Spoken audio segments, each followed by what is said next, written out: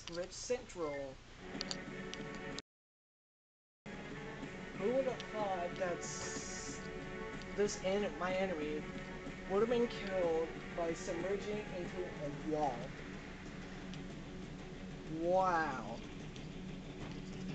I mean, look at. Where's his body? Where's his body?